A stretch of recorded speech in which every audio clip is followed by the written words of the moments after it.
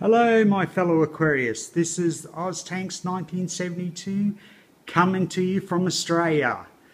Ah, I have another product here to review, and I just think it's absolutely fantastic. But first, I'd like to thank Ben at Age of Aquariums for sending me this product. And here it is. It's the Hydor Koralia Circulation and Wave Pump. I hope I said that right. Um, these are not cheap pumps. As you can see, $69 it cost me, but it was well worth it. So let's get down to this uh, review. It's a 900 litre an hour um, circulation pump. As you can see, it's quite small. Just, just the box is small. I was really surprised when I got this, thinking, "Oh, gee, what have I bought here?" It's it doesn't look like much for what I paid for. I really expected a bigger item. Oh well, I hope the quality makes up for it and it really did. But here we go. This one here states that it's actually for a 50 to 100 litre aquarium. Um, well, my aquarium here is actually 155 litres. Um, you might ask why I got something that was obviously too small for my aquarium. The answer is I have a planted aquarium. Um, I didn't want a typhoon in my aquarium. I have plants and I have slow swimming fish. Um, and I don't think they'd appreciate it if I introduced a, a typhoon. So let's have a look at it. There you go. Now you can see it's just creating a gentle wave on the Marble Queen sword there and another gentle wave on the Amazon sword which is exactly what I was after. Okay. Now, I know I've seen some of these on YouTube before, but it's kind of hard to see just how big they are, you know, and let's let's face it, size size matters when you're talking about wave makers and circulation pumps. Okay, so here, here it is. I've got a prop to help me show you exactly how big it is. This is a 220 gram jar of Vegemite commonly available at any Australian supermarket. This, my friend, is how big the pump is. Okay, that is the pump. That's how big it is. So all you gotta do is go to your local supermarket and you'll be able to see, you know, and actually feel it. And I'll tell you what, when when it's actually in your hand, this one's half empty. I love Vegemite. this is actually how much it weighs. So it only weighs about 120 grams. So um, that should help you out anyway. But I'm even going to go one step further with me props and show you just how much pressure this little tiny beast actually can create in the aquarium. And I'm, I'm saying that I am glad that I actually got this one and not the 1600, which is the next size up. And remember, these are the nano versions. So they're actually made for, you know, they call them nanos because they don't take up much space, but they give you a lot of oomph in your aquarium.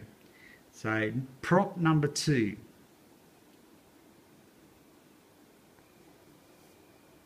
Okay, we're over the kitchen sink now. Okay, and you'll see in a minute why we're over the kitchen sink. So you want to see how much water this and how much pressure it creates. Okay.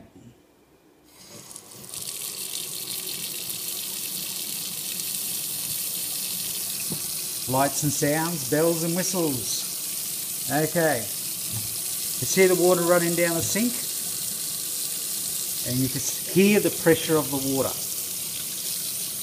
Okay. Now, if you put your finger up against the tap at home, all right, and you'll feel this pressure. Let me just get this right, people.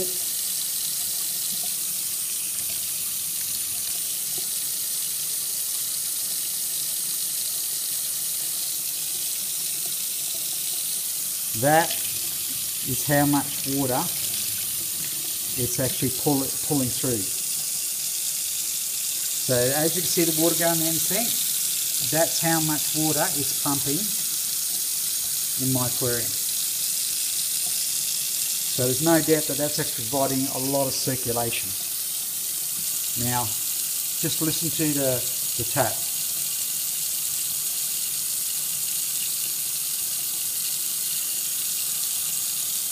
Now go home, uh, go to your sink and try to match that sound and then you can feel just how much pressure that's actually making.